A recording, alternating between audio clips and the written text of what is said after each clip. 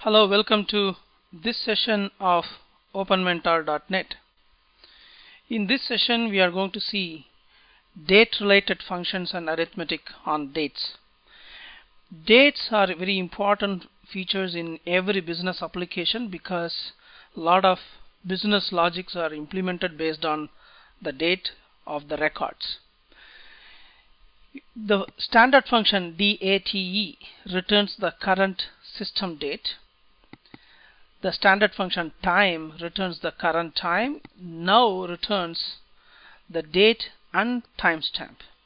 So let us execute this function.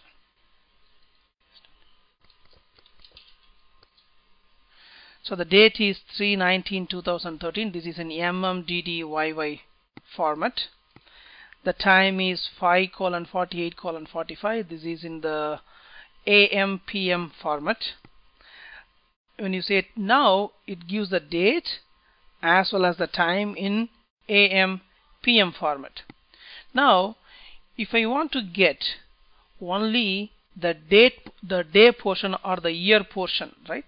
So there are again right pretty much like you do the string extraction and character extraction functions within the date you can start extracting the month year date etc etc let us see how to do extract the values from the date values let us look at this function month of the current date it will give you the current month when you say year of the current date it will return the year day of the date so you can extract the respective components from the DD or MMDDYY format. Now let us execute this. The current month is 3 which is March. Then the year, sorry, I should have given the message year. The day is 19. Okay, I forgot to give this portion changed. Let me do that. Let me execute once again. The month is 3. Year is 2013. The day is 19. So this is something like you extract the components of the date. Same way you can extract the hours and minutes also from the time. Let us do that. If you see here pretty much like we did the month extraction of from the date we are doing get me the hour from the current time get me the minute from the current time get me the seconds from the current time. Let us execute this if you see here hour is 17 instead of AM PM format it is giving in 24 hour formats which is one way good. Now the minutes is 5 uh, 53 seconds is 4 seconds.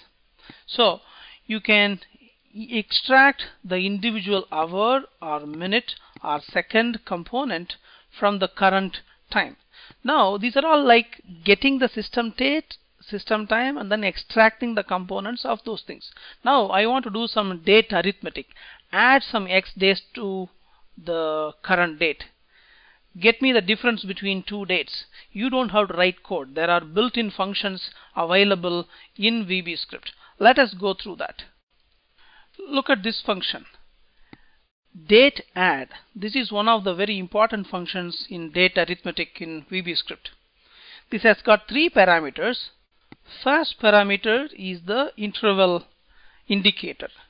D stands for we are going to add some days. How many days? I want to add 15 days.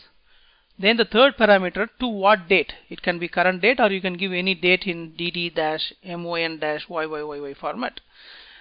Now I'm saying add 15 days to this date. Now let us execute this. See what happens. So 15 days to 1st of Jan is 16th Jan, which is good. Now let us do the same thing. Add 45 days to 1st Jan. It is 15th February. You can also do add months. Let us say add 8 months to 1st January. Let us execute. It says 9 1 2013. So right now the the way you change the interval indicator. So the interval indicators are typically like uh, M for month, then D for days YYYY stands for the year then we can also add hours add x number of hours add second uh, say 500 hours to this date let us try that out look at this. Now I am adding 48 hours to this date. So you, the indicator is H 48 hours. You know it is 2 days so it should be 3rd Jan let us execute this. So it is 1 3 2003 which is 3rd Jan in MMDD MMDDYY format. So depending upon the indicator and the value he does all the arithmetic. So M if it is the indicator it is for month D for days Y Y Y Y for years H for hours N N for Nancy N stands for the minutes because if you do you cannot use M. M already stands for month S for seconds. So you can add these indicators and then X number of days to that. Now let us do one thing. Let us try this one. Uh, say minus 48 let us see what happens.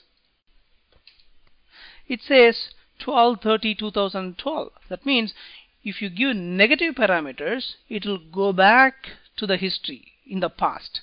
If you give positive values it will go to the future. So the date add depending upon whether you give positive values or negative values it will either go to the past or will go to the future. So this date add is one important arithmetic function same way if we want to find the difference between two dates there is another function. Let us do that look at this function date diff again it has got three parameters first parameter is the indicator as we have seen D for days, M for months, Y, Y, Y for, years. You can give hours also. Date 1 and then date 2. So it will give the difference between this date and this date in days. So let us find out how many days are there between this and this. 1st March 2013 and uh, 1st February 2013. It's saying minus 28 that means he is taking this as the primary date this as the this minus this now if I reverse this let us say 1st February 2013 and then 1st March 2013 let us execute it becomes positive. So it is second date minus first date. Now if I want to get what is the difference in terms of hours? So let us execute this. It says 672 hours. So you can get the difference between two dates in terms of days months or hours or minutes or seconds.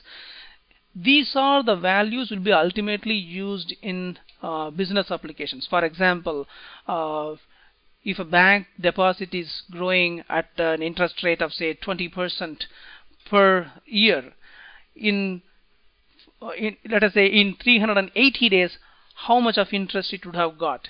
So if I want to find out the difference between current date and the original deposit date then I need to use this date arithmetic.